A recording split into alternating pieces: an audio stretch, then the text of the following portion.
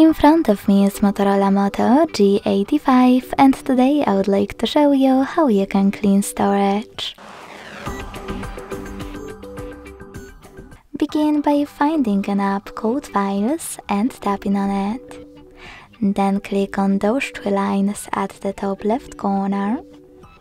Select Clean and tap on Clean under Junk Files. Lastly, confirm your choice in the pop-up by tapping on Clear and wait. As you can see, after that, storage of my Motorola was successfully cleaned. Thanks so much for watching. If you enjoyed this video, leave a like, comment and subscribe. Bye!